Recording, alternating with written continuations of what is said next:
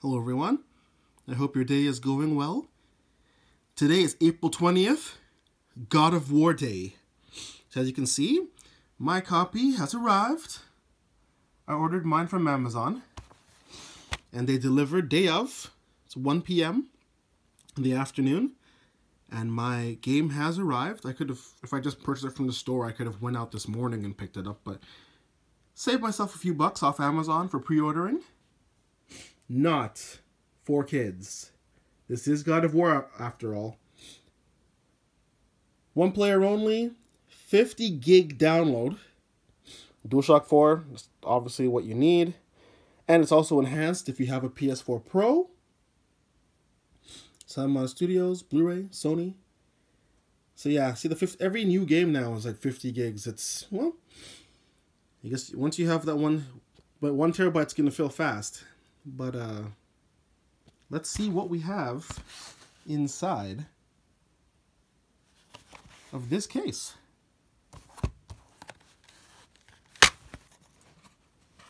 We have the God of War disc. Obviously, can't play without that. Special offer, limited edition loot crates.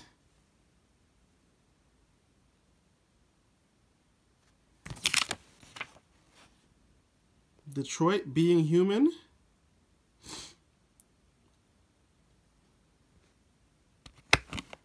Behind the disc, we have some artwork. We have the God of War in war. Surprise, surprise. So as you can see, you can flip it around and that could be your new cover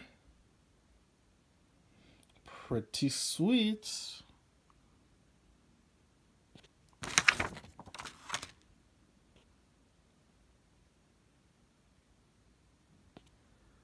So I am going to go and download this puppy.